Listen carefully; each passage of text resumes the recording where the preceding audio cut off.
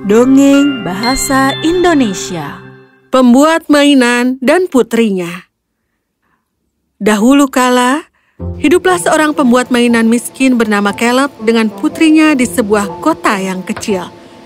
Putri Caleb, Berta, dilahirkan buta, dan sebagai seorang ayah, dia bersumpah untuk mengubah kekurangan penglihatannya menjadi sebuah berkat.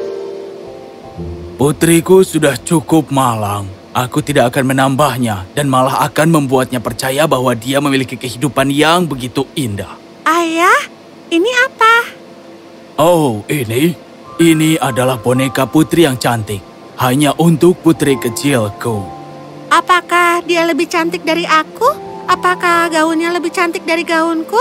Oh, tidak. Dia tidak secantik dirimu dan pakaiannya tidak seindah milik. Terima kasih, Ayah. Ceritakan tentang rumah kita. Bagaimana kelihatannya dan seberapa besar? Ya, rumah kita tidak terlalu besar karena akan sulit untukku meninggalkanmu di rumah dan pergi ke bengkel.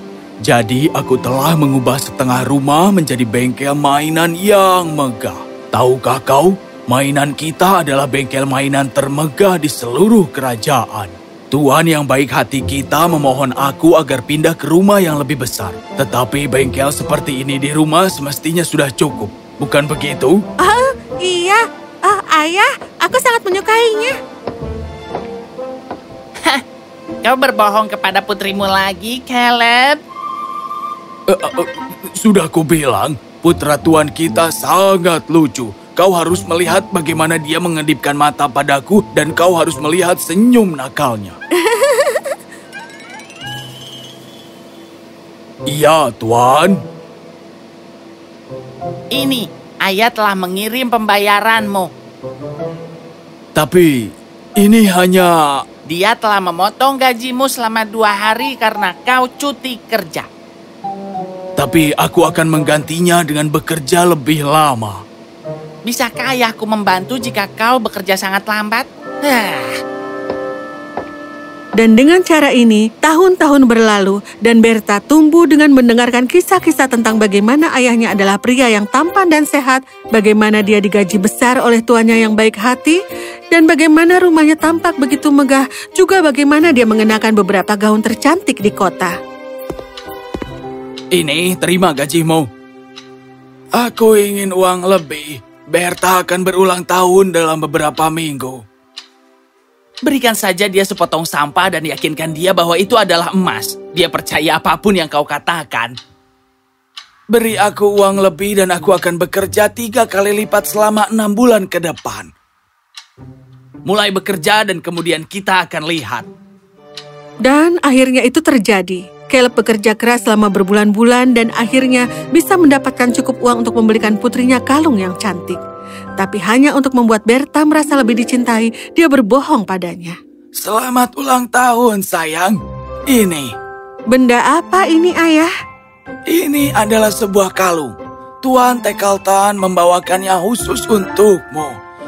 Dia benar-benar sedih bahwa dia tidak bisa berada di sini untuk mendoakanmu. Jika ayahnya baik, Tekalton Junior lebih dari itu. Dia benar-benar sangat menyukaimu. Oh, dia sangat baik hati. Mendengar tentang kebaikan putra tuannya, Berta diam-diam menaruh rasa kasih sayang kepadanya.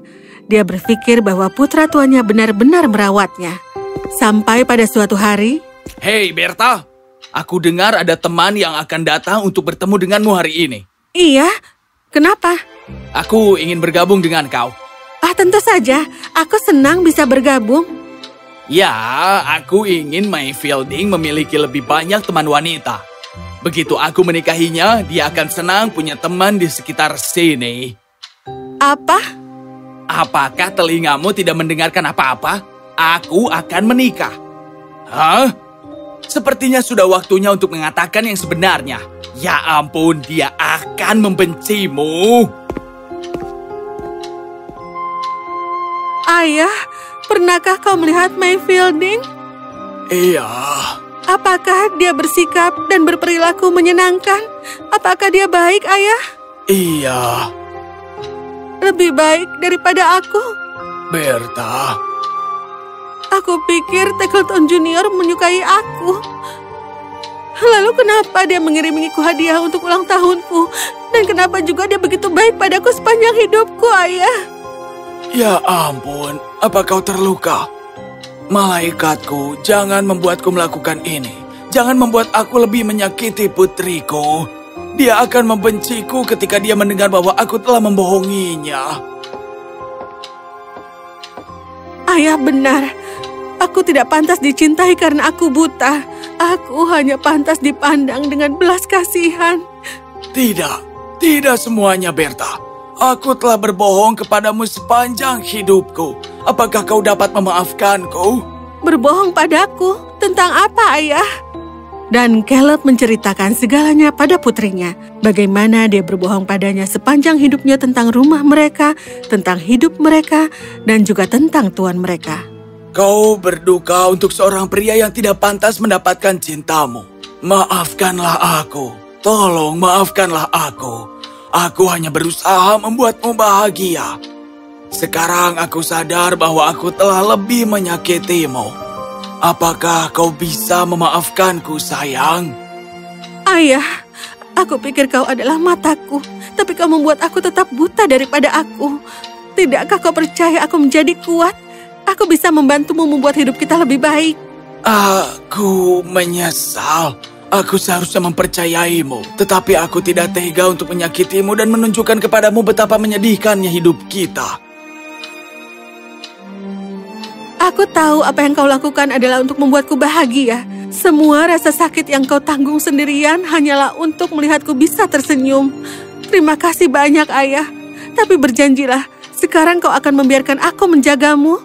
Kau akan membiarkan aku membantumu dan kau akan memperlakukan aku bukan sebagai orang buta yang malang, tetapi sebagai putrimu yang kuat dan juga bijaksana. Aku berjanji. Dan begitulah yang terjadi. Pembuat mainan itu membiarkan Berta membantu membuat mainan dan tidak lama kemudian mereka menghasilkan cukup uang untuk membeli rumah sendiri. Pujian untuk Berta. Dia bisa saja meratapi nasibnya dan terus merasa sengsara tentang hidupnya. Tetapi dia memilih untuk memaafkan ayahnya dan membuat hidupnya sendiri bersama. Ini benar-benar kekuatan dan keberanian, bukan?